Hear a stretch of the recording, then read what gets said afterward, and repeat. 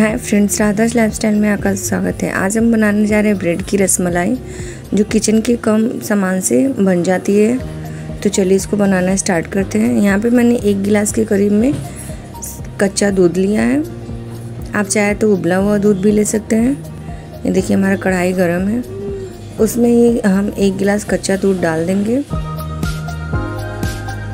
आप room temperature पे भी दूध ले सकते हैं या फिर ठंडा भी ले सकते हैं या फिर पका हुआ दूध रहे, उसको भी ले सकते हैं एक गिलास के करीब में। अब हम इसको धीरे धीरे चलाएँगे। एक उबाल आने तक अच्छे से चलाएँगे इसको हम। धीरे धीरे इसको चलाते रहना है, ताकि ये नीचे पकड़े नहीं। ये बहुत जल्दी से और बहुत टेस्टी रसमलाई बनकर तैयार हो जाती है। ये ब्रेड से बनती है तो इसको कोई पता भी नहीं कर सकता है कि इसमें छेना नहीं पड़ा हुआ है। ये देखिए, हमारा दूध उबल के तैयार हो चुका है।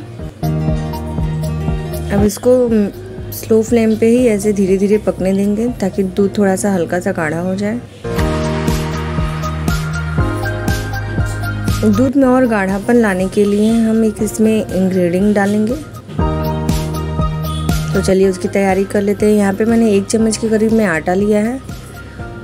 उसमें हल्का हल्का पानी डाल करके उसका एक फाइन पेस्ट तैयार कर लेंगे।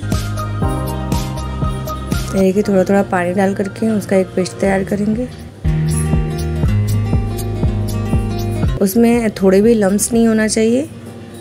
ऐसा हमें पेस्ट तैयार करना है कि उसमें थोड़ा भी लम्स ना रहे।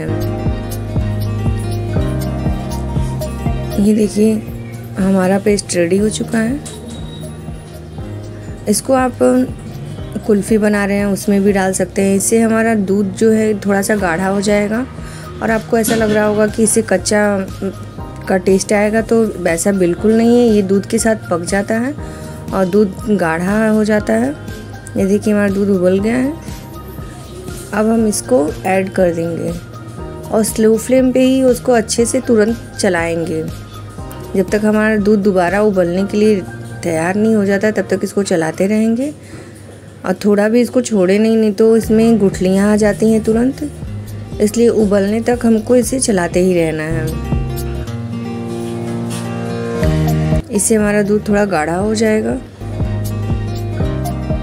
ये देखिए, हमारा दूध उबल चुका है। अब इसमें हम केसर की जगह हल्दी का यूज़ करेंगे आधे चम्मच के करीब में। आधा से भी थोड़ा सा कम ही अगर आपके केस पास केसर है तो वो भी डाल सकते हैं, लेकिन हल्दी डाल देंगे तो और भी अच्छा है। और यहाँ पे कुछ कटे हुए ड्राई फ्रूट्स लिए हैं मैंने, वो डाल दिए अब ये हम अंदर का भरने के लिए मैटर तैयार करेंगे।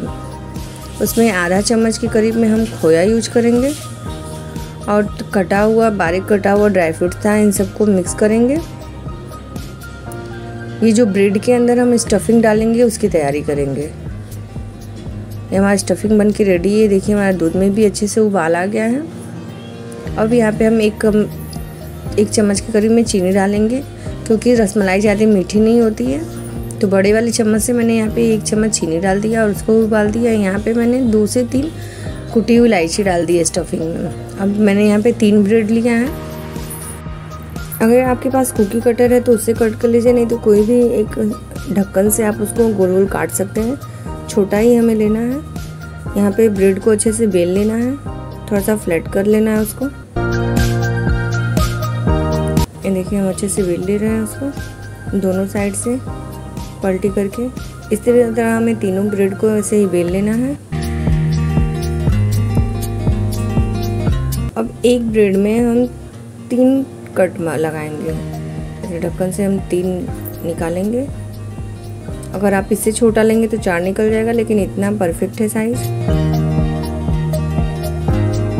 देखिए ऐसे सारे ब्रेड से हम निकाल लेंगे। और जो साइड का है, आप उसको ब्रेड क्रम्स बनाने में ब्रेड पोहा बनाने में भी यूज़ कर सकते हैं। साइड वाला जो बचता है, उसको ब्रेड क्रम्स बनाने में हम मैं तो यूज़ करती हूँ। अब हम यहाँ पे बीच में स्टफिंग डालते हैं थोड़ा थोड़ा लेकर के।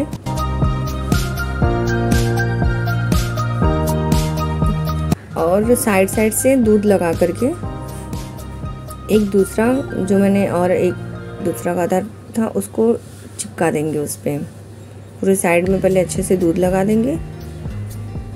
अब दोनों हाथों की हेल्प से, फिंगर से उसको दबा दबा करके, उंगलियों से, हल्का हल्का और दूध लगा करके उसको अच्छे से दबा दबा करके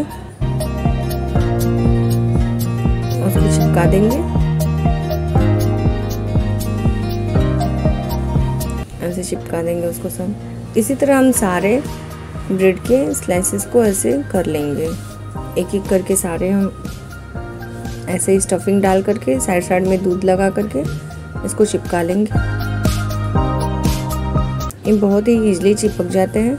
इनको बस परफेक्ट मात्रा में दूध लगा रहना चाहिए साइड साइड में हल्का हल्का।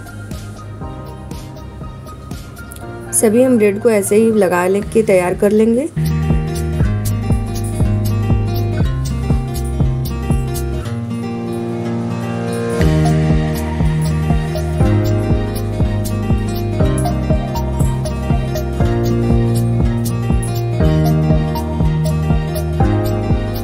आप जब भी रसमलाई सर्व करेंगे, सबको तो किसी को भी पता नहीं चलेगा कि ये ब्रेड का बना हुआ है। ये देखिए, हमारे सारे ब्रेड रेडी हो चुके हैं और हमारा दूध भी बच गया है। तो चलिए अभी हम इसको डिश में डालते हैं। एक एक करके हम ब्रेड के स्लाइसों को नीचे रख देंगे।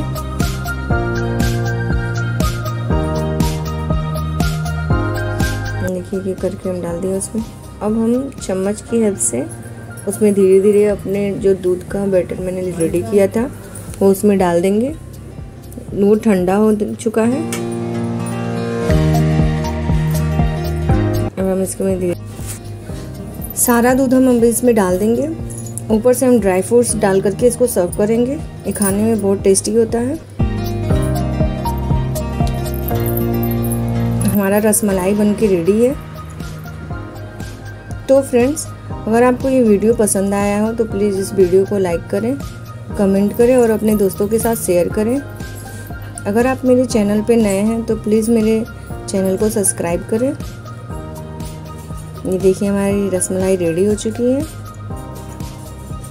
तो मिलते हैं आपसे नेक्स्ट वीडियो में नए डिश के साथ।